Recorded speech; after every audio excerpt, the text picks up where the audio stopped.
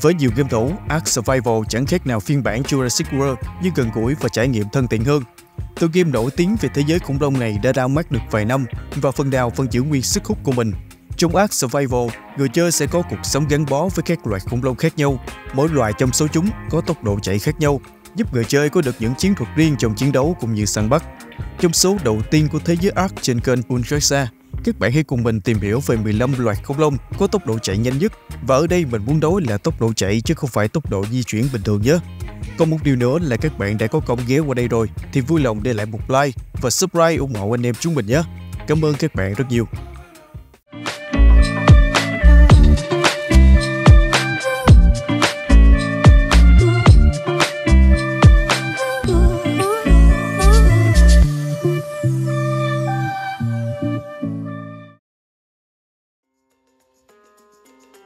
Top 15 Parasaurolophus Parasaurolophus có một trong những khả năng thích nghi thú vị hơn bất kỳ sinh vật nào từng xuất hiện trên đảo. Giống như tất cả các loài parasaur, nó có một cái màu đặc trưng trên đầu. Parasaurolophus dường như nằm ở vị trí thấp trong chuỗi thức ăn và bị săn đuổi bởi mọi thứ, sinh vật cũng như con người.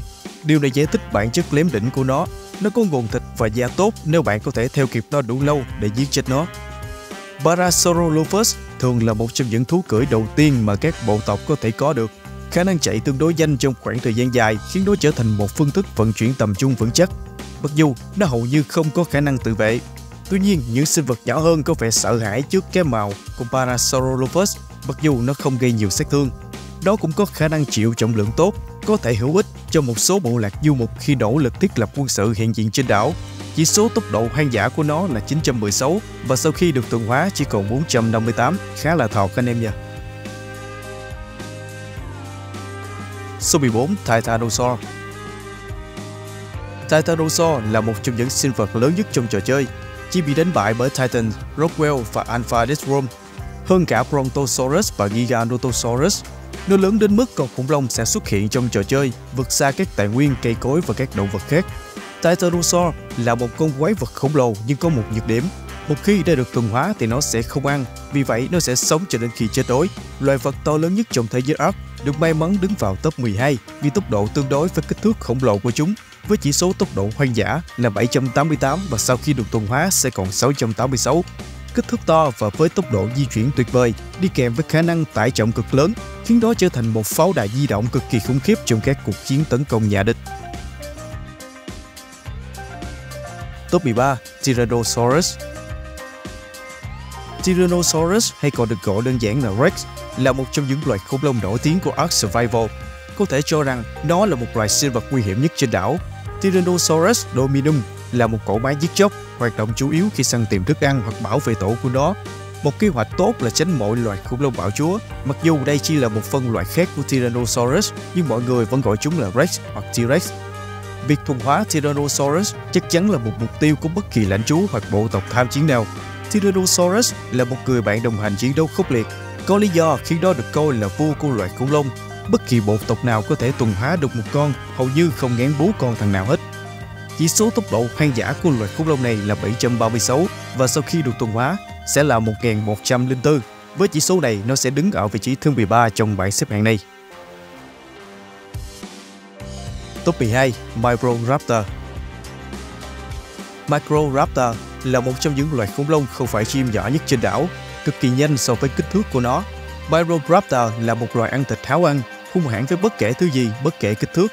Microraptor tự coi mình là kẻ săn mồi đỉnh cao. Khi đi săn, tốc độ của nó chính là một trong những điểm mạnh lớn.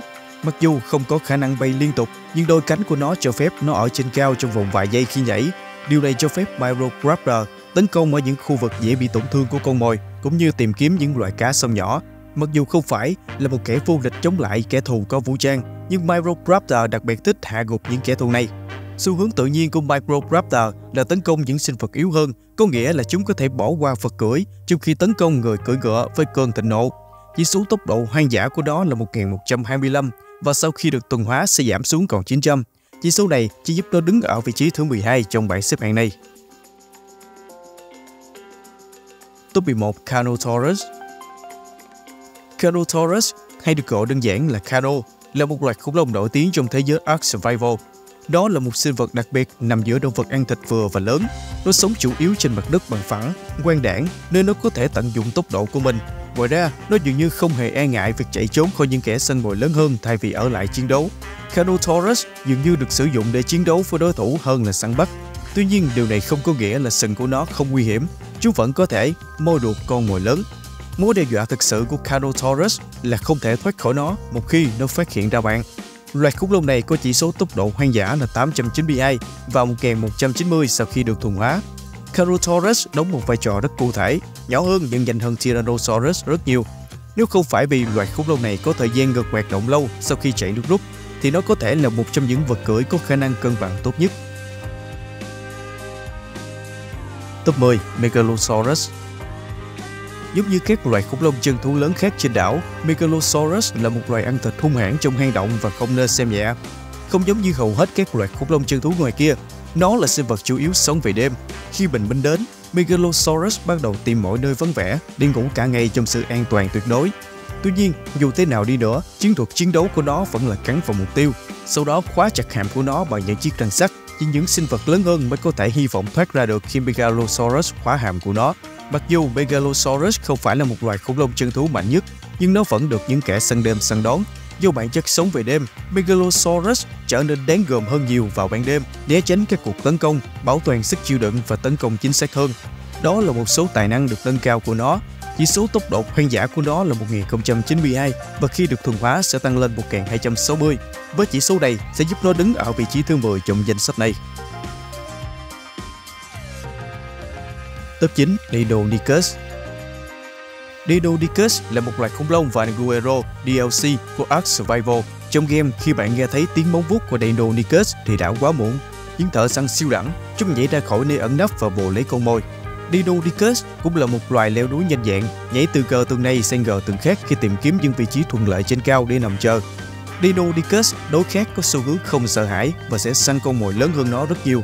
Bám vào lưng khủng long bằng móng vuốt hình liềm, sau đó bắt đầu kiếm ăn trước khi nạn nhân chết.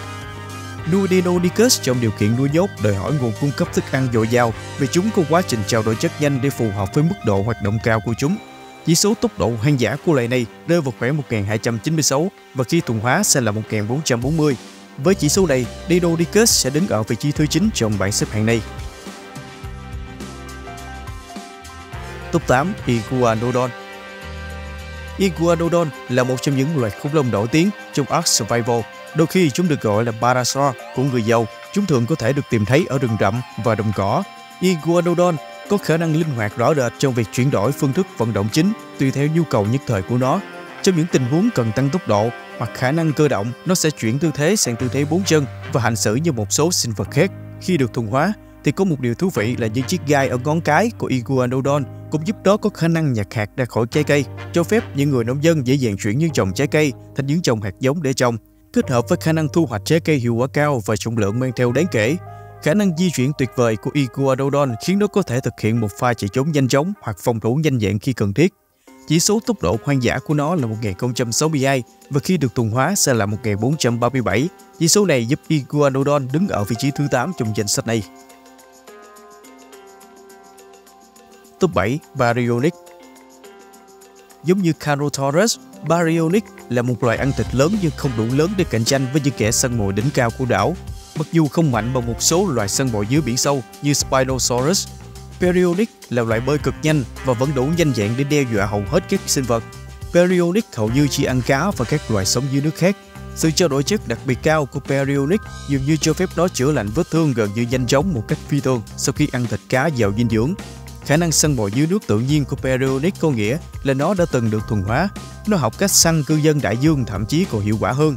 Periodic là sự lựa chọn lý tưởng cho những ai quan tâm đến việc thường xuyên di chuyển giữa đường thủy và đường bộ, đồng thời coi trọng tốc độ và sự nhanh nhẹn hơn sức mạnh thô.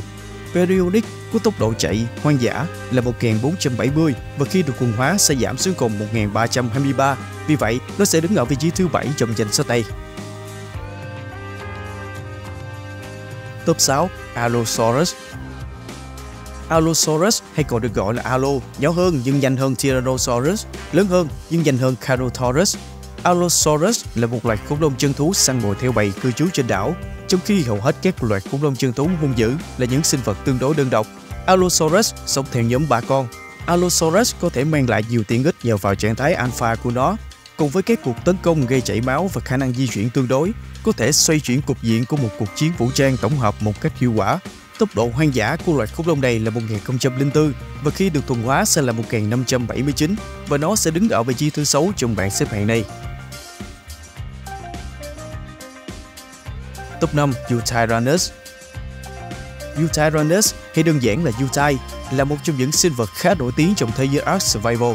Eutyrannus còn được cho là có liên quan đến Tyrannosaurus Rex, nhưng thoạt nhìn nó có sự khác biệt rõ rệt. Các loài có lông không nhất thiết phải được coi là kẻ săn bò nguy hiểm giống như các loài khủng long trường thú khác. Tuy nhiên, Utahranus gây ra nỗi sợ hãi cho những kẻ thợ săn lành nghề nhất trên đảo. Utahranus nếu được thuần hóa có thể là một sự bổ sung phòng thủ hoặc tấn công mạnh mẽ cho các bên tham chiến. Với tiếng gầm hùng mạnh của mình, nó có thể gây ra nỗi sợ hãi cho những sinh vật đối địch. Utahranus sẽ đứng vị trí thứ 5 trong bảng xếp hạng với tốc độ hoang dã và sau khi thuần hóa là 1610. Eutyrannus có một bộ lông dài, móng vuốt nhọn và vẻ ngoài dữ tợn. Chính vì vậy, loài vật này thường được các bộ tộc sử dụng gây ra sự sợ hãi cho kẻ địch và truy đuổi kẻ thù khá tốt. Top 4. Giganotosaurus Giganotosaurus có nghĩa là thần lằn khổng lồ phương Nam, là một loài khủng long chân thú mạnh nhất trong Ark Survival. Đó là về sức mạnh, còn về khoảng tốc độ thì nó vẫn thua một số loài khác. Nó có tốc độ cao hơn Tyrannosaurus. Giganotosaurus là một loài khủng long chân thú khổng lồ với các chi cồng kềnh, có các móng vuốt cong màu vàng. Giganotosaurus là một sinh vật hung dữ. Do cơ chế cuồng nộ của nó, nó sẽ trở nên tức giận khi bị tấn công. Điều này khiến các đòn tấn công của nó gây ra nhiều sát thương hơn. Nó cũng lấy lại sức chịu đựng nhanh hơn khi tức giận. Nếu nó nổi cơn thịnh nộ quá mức, nó thậm chí còn ăn thịt luôn cả người cưỡi của mình ngay lập tức. Chỉ số tốc độ trong hoang dã của loài này rơi vào khoảng 1681 và khi được tuần hóa cũng sẽ ở mức đây. Với chỉ số này, nó sẽ đứng ở vị trí thứ tư trong danh sách này. Top 3 Spinosaurus Trong số ít loài ăn thịt trên đảo có kích thước ngang bằng với Tyrannosaurus, nhưng Spinosaurus không sánh bằng với sự hung dữ của nó. Bốn chân và cánh buồm lớn của Spinosaurus khiến nó khá nhanh trên cạn và cực kỳ nhanh dưới nước. Điều đặc biệt là nó được cho là có khả năng thay đổi tư thế từ bốn chân sang hai chân. Loài khủng long có xu hướng trở nên ít thù địch hơn khi chúng ta ở xa nó. Bạn có thể sẽ chạy thoát khỏi một con Spinosaurus bằng cách đi đủ xa khỏi hồ nước của nó để khiến nó mất hứng thú. Spinosaurus là loài thú ăn thịt có tính linh hoạt trên mọi địa hình. Mặc dù tốc độ di chuyển của nó chậm hơn trong tư thế hai chân, nhưng nó có được sức mạnh tấn công và khả năng di chuyển đáng kể ở hình thức này. Đối với những thợ săn mong muốn có một con thú cưỡi tròn trịa, Spinosaurus có thể là sự lựa chọn lý tưởng nếu bạn có thể sở hữu một con. Nó có chỉ số tốc độ hoang dã và khi được thuần hóa đều là 1717. Với chỉ số này thì Spinosaurus sẽ đứng ở vị trí thứ ba trong danh sách này. Top 2. Carcharodontosaurus Carcharodontosaurus là một loài khủng long vô cùng nổi tiếng trong tựa game Ark này. Nó có thể quét sạch những kẻ tấn công bằng đuôi của nó, nhưng đó là đầu bên kia mà bạn thực sự muốn tránh. Nó có một hàm răng vô cùng sắc nhọn, với bộ hàm đủ khỏe để xé nát hết đầu con mồi. Ngay cả một cú ngoạm trượt cũng sẽ khiến bạn bị thương. Giống như tên của nó, Carcharodontosaurus trở nên nguy hiểm hơn khi nếm được mùi máu. Mỗi lần tiêu diệt dường như khiến những con quái vật này tăng tốc và khiến chúng trở nên điên cuồng. Chỉ số tốc độ hoang dã của nó là 2241 và tốc độ khi được thuần hóa thì nó vẫn như thế, chạy nhanh vãi Kalin. Top 1 Gallimimus Khi ai đó hỏi bạn đâu là sinh vật nhanh nhất trên đảo, thì bạn cứ dõng dạc mà trả lời một cách chắc cốp rằng đó là Gallimimus. Không giống như nhiều loài động vật bọc thép trên đảo, Gallimimus bỏ qua khả năng phòng thủ vững chắc để có khả năng chạy nhanh hơn hầu hết mọi thứ. Loài khủng long này thậm chí còn trông lo lắng khi ăn uống trên một đồng cỏ trong xanh, yên bình. Nó chỉ đơn giản là bỏ chạy và sử dụng sự danh diện của mình để giữ an toàn cho bản thân. Sẽ có hai phe đưa ra hai cách sử dụng Gallimimus khi đã được thuần hóa. Một phe cho rằng việc loài khủng long này không có khả năng gây sát thương đến các sinh vật thù địch và không có khả năng thu hoạch hầu hết các tài nguyên, khiến nó chủ yếu trở thành gánh nặng cho bộ tộc. Viết còn lại cho rằng tốc độ cực cao và khả năng nhảy xa của nó là một trong những khả năng tốt nhất để chính xác và khám phá. Tuy nhiên, cả hai phe đều đồng ý rằng khả năng vận chuyển nhanh chóng nhiều thành viên của bộ lạc khiến nó có lợi nhất. Chỉ số tốc độ hoang dã của Gallimimus là 2305 và tốc độ khi được thuần hóa của nó sẽ là 2181. Với chỉ số này thì sẽ có nhiều bạn bảo, nó có phần thấp hơn Kacha. Nhưng đối với mình thì đây là một sinh vật nhanh nhất trong game con rồi.